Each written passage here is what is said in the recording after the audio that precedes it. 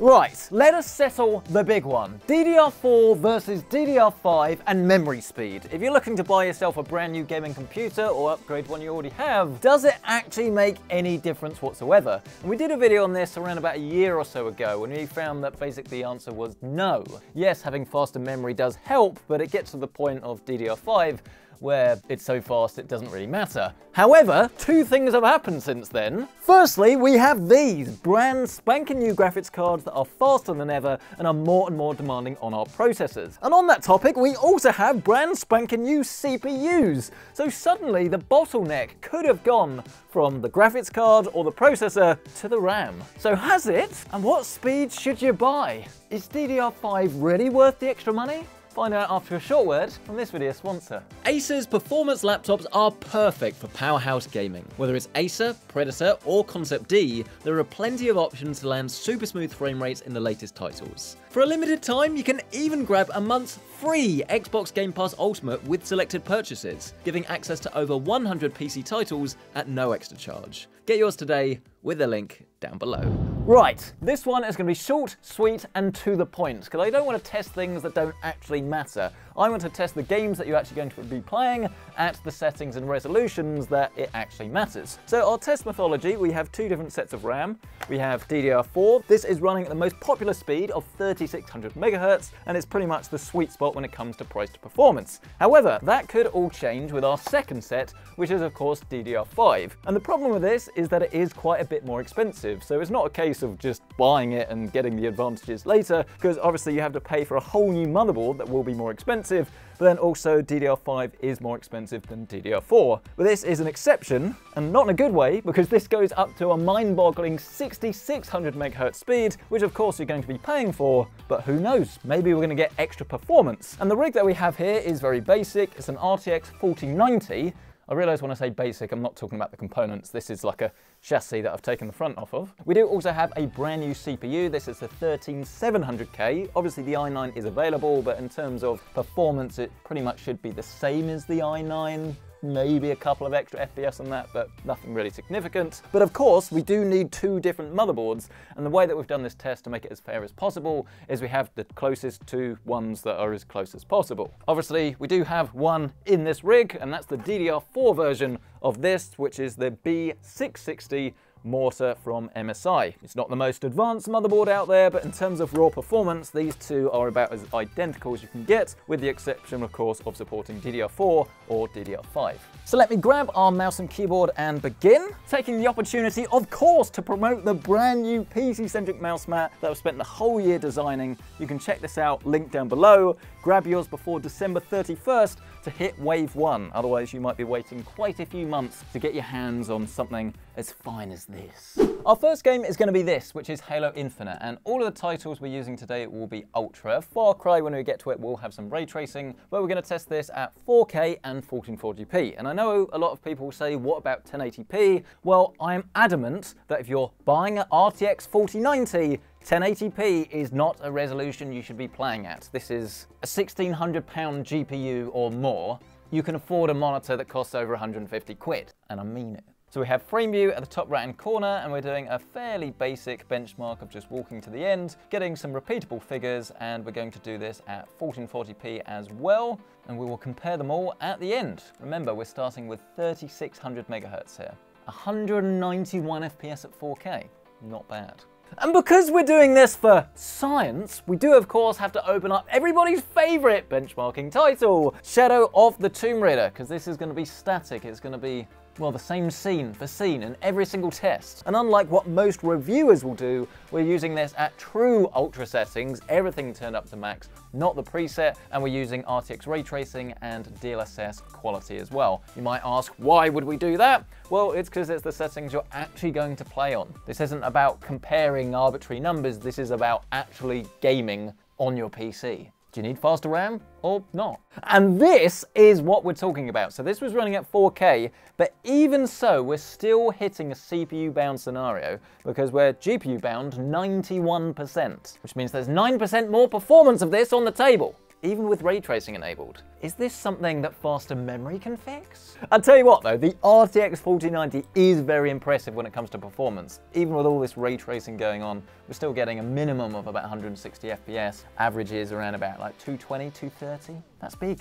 Before we got an average of 177, we've gone up to 215, but bearing in mind we're now GPU bound only 32%, I genuinely do think that the faster DDR5 has a very good chance of getting significantly higher FPS, which isn't something I've actually said before. Why does Warzone take so long? Why does Warzone take so long? I'm gonna be here for the whole day. I'm gonna be here for the whole day except that I've got to do this on Monday. Oh wait, the cameras are still on, aren't they? Well, this is Warzone, and we're actually to test this in a real game, at the same spot, for science. Come on, Benchmark, let's do this. There are people everywhere, I don't want to get shot. We go through the trees, we navigate across the road. This is so exciting. Can we get to the other tree? Yes. 188 FPS at 1440p. We are definitely getting some bottlenecking. I mean, look, I've turned on the recording so you can actually see what's going on. Interestingly, we are bottlenecked by the CPU, but not as much as I've seen from some other CPUs, around about 5% maybe. It is going to dip though. This is a game that requires a very big, beefy CPU if you're using a 4090. And then last, but certainly not least, we have one more title to test, some Far Cry 6. And as for our settings, we're going to use 4K and 1440p, of course, again, everything at max. All of our ray tracing enabled. And then we have our Fidelity FX Super Resolution. We're going to turn this to ultra quality. Run the benchmark. Run the benchmark. Come on, let's do this. What did we get? What did we get? 125 FPS average, a minimum of 107. Right, that is now all of our DDR4 tests done, which means turning this off, getting all of the bits taken out, and swapping it all over. Like, you guys are lucky. All the long bits get cut out of the video. Now, of course, there is quite a lot of testing to do on this platform, and the first thing I'm going to do is actually set it to 3600 megahertz, because I want to make sure that we can see any differences between RAM quantity and RAM speed. Personally, as we've tested before, I don't think you're going to see any difference between 16 and 32, but for science, we need to show you the data. For science! I'm going to stop saying that, that'll get annoying. Okay then, here is our first DDR5 test, this time running at DDR4 speeds, 3600 megahertz. Is it going to make any difference having 32 gigabytes of RAM versus 16? This test should tell us. Okay, it does seem as if we are massively memory bottlenecked here in Far Cry now, because our results in both 4K and 1440p have gone down drastically. This is not the test I thought this was going to be, but clearly it does show that DDR5 memory does not like being run at slower speeds because it is absolutely killing our performance. Round 2, last time 215 FPS, now 193, so this is not a one-off, this is not game dependent. Clearly, DDR5, lower speeds, not a good idea. Pressing swiftly on, we've changed the memory now to 4800 MHz, which is the default that you get with DDR5, though most kits these days you can run typically 5400 or above. So I think that's to be a sweet spot, but I'm hoping the performance of this should at least match the performance of DDR4 3600, or it really does beg the question, why go for DDR5? And we're getting 305 to 154 minimum at 1440p. Oh, it's more, it's more! Hmm, it's more at 4K as well. Ah! Come on, Warzone, give me some FPS. What we got? 171, 100. Oh, that's less. So we got our baseline data, but now the party really gets started because we can actually try some of our advanced speeds and see whether the capabilities of DDR5 could actually give you better performance in the latest titles with an RTX 4090 or anything super powerful. Right, fast forward to, well, now, where I've done all of the testing other than the 6600 megahertz. And the problem I have with this is that you're paying a lot of money for these super fast kits. I think the fastest you can buy really mainstream at the moment is 6800. But traditionally with DDR4, these kits were nice to haves, but they wouldn't always be compatible with every system, especially AMD. I don't think you can even get an Expo kit over 6000 megahertz. But if you're a die-hard enthusiast, you want to extract as much performance as possible out of your system, then you might want to look at one of these memory kits. But will it make a difference and is it going to be worth buying? Let's double check our memory. There it is, running at 6600 megahertz. Let's get gaming. And our first numbers are in 236, 1440p, play higher or lower. That is very exciting. But you know what would be a lot more exciting? Actually showing you the benchmarks. But of course, I can't do that myself, oh no. I need to hand you over to someone that knows these numbers inside and out. The one, the only Benchmarkers. Hello everybody and welcome back to Benchmarkers and I'm just going to get straight into it because this is something I'm incredibly passionate about, price to performance. And as you can see across the board there's just not really huge differences with any of the tests. The only exception actually being DDR5 set to the lower speed of 3600. This clearly didn't work very well and it's not something anyone would actually do or of course I'd recommend. But it's so crazy, isn't it, that even 16 gigabytes of RAM, so half the quantity, running at a much lower speed, keeps up with this brand new super fast, the best thing since sliced bread, DDR5 in pretty much every single title. Things like Warzone, it might be worth getting some more expensive memory if you're going for a very expensive PC, but as I'm going to mention time and time again, please remember that this is running on a top-end CPU with a top-end RTX 4090 GPU, and the vast majority of people watching this are probably going to be running like a 20 series card or maybe like a 3060, something like that. And it's even less important here because you're not going to be bottlenecked by the CPU in the first place. It's going to be a GPU-bound scenario.